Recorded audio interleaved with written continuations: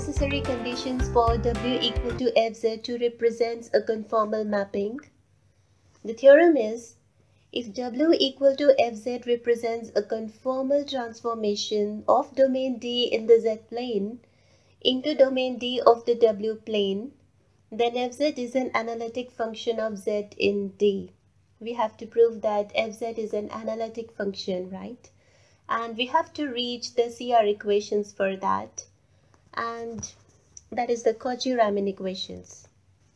So we have u plus iota v is equal to uxy plus iota vxy where u and v are depending on x and y variables.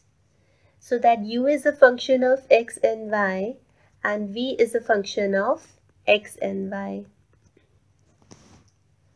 Let elementary arc length in z-plane be, let's say, ds and elementary arc length in w-plane be d sigma.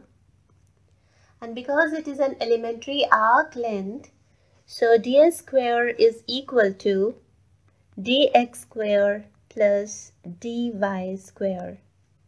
And d sigma square is equal to du square plus dv square for the w plane this is for the z plane and this is for the w plane now du can be written as because u is a function of x and y so du can be written as curly u over curly x dx plus curly u over curly y dy.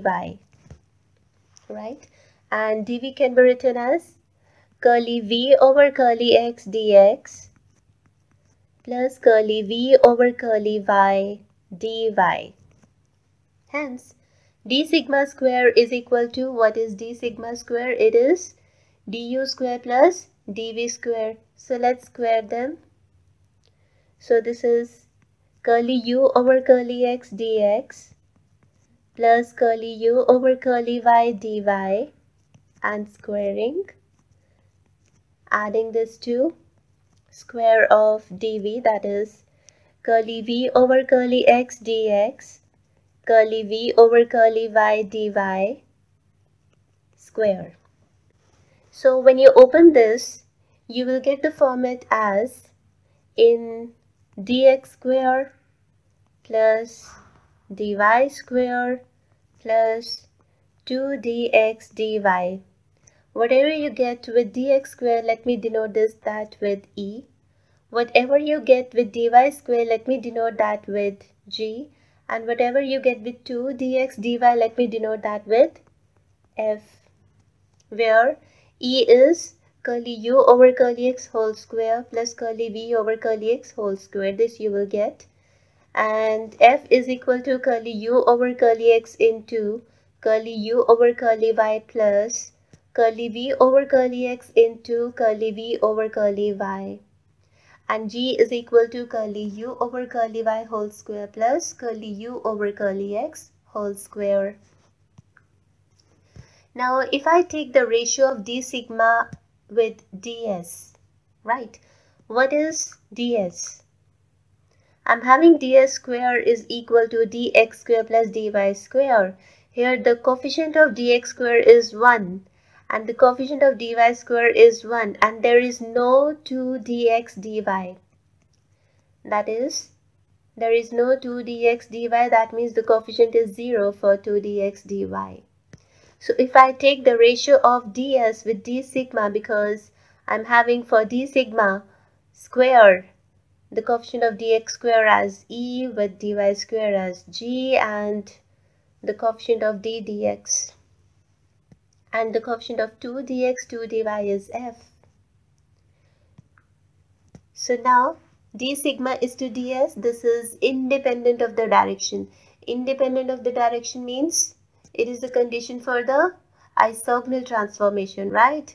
So this ratio is independent of direction if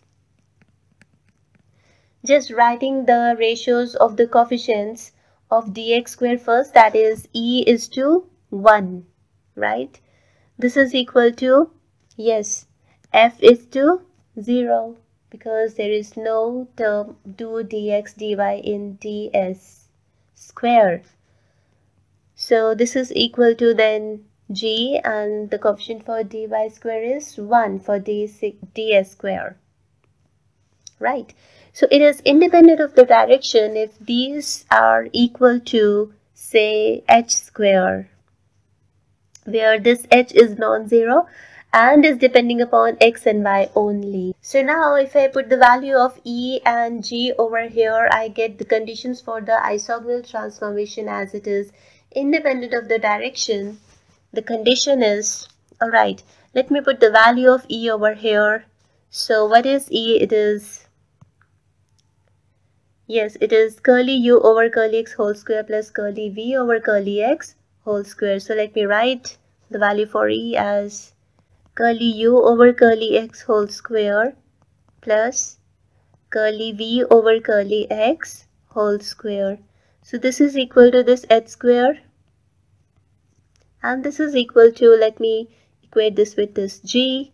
So g is curly u over curly y whole square plus curly v over curly y whole square. Right?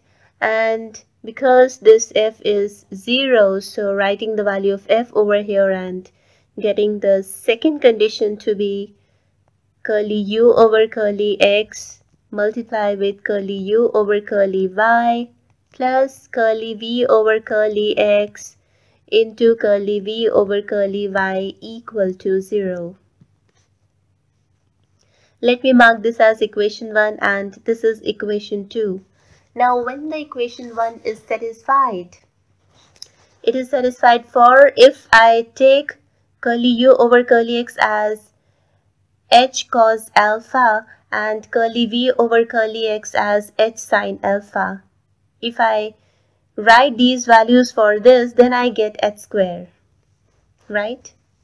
And curly u over curly y should be h, let's say, h cos beta, right? The second angle to be as beta and curly v over curly y to be as h sine beta. When we square these two, I get h square. So let me uh, write this set as curly u over curly x as h cos alpha and curly v over curly x as h sine alpha. So that if I square and add them, I will get h square and for this let me put curly u over curly y as with another angle h cos of beta and curly v over curly y as h sine of beta. So now let's substitute these values in 2 now here. So on substituting I get just multiply these two I get h square common and cos of alpha this. Cos beta the product plus then taking the product of these two I get h square that outside. So this is sine of alpha sine of beta and this is equal to 0 from here. Alright now this is nothing but the formula that is cos of alpha minus beta. So this is equal to 0 as h is non-zero. So this implies alpha minus beta is equal to plus minus pi by 2. So let's take first alpha minus beta to be as pi by 2. Then alpha is equal to beta plus pi by 2 right? I need the value of alpha first. So curly u over curly x is, yes, what is curly u over curly x? It is h cos of alpha. So this is h cos of alpha. That is beta plus pi by 2. This will give me negative h sine of beta. And curly v over curly x is h sine of alpha. So this is beta plus pi by 2 that is equal to positive h cos of beta. Also curly u over curly y is equal to, yes, this is already h cos beta. So this is h cos of beta. No need to put the value of beta because I'm already having beta over here. So it's okay with beta. So curly v over curly y is equal to h sine of beta. Hence, from this two, from this and this, what I get? Curly u over curly x is negative of curly v over curly y. And from this two, I get curly v over curly x is equal to curly u over curly y. These are not the CR equations, right? Okay. So similarly, let's take alpha minus beta to be equal to negative pi by 2. So we get beta minus pi by 2. And when I put the value of alpha like before I have done for the equation 3, so we get curly u over curly x is equal to curly v over curly y and curly v over curly x is equal to negative of curly u over curly y. Yes, the equation 4 are the Cauchy-Riemann equations. These are the CR equations.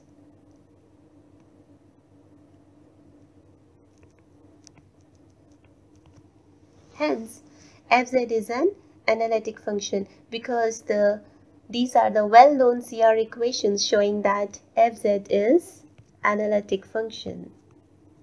This is what we need to prove? Yes. So what can you say about equation 3? These equations. These becomes the Cauchy-Riemann equations if I replace v with negative v. Yes? Replacing v with negative v or writing negative v for v that is if we take the image figure obtained by the reflection in the real axis of the w plane. So these equations 3 correspond to the isogonal but not a conformal transformations. Right? Equations 4 corresponds to the conformal transformations. Hence, it is shown that if the transformation W equal to Fz is conformal, then Fz must be an analytic function of Z. Hence proof.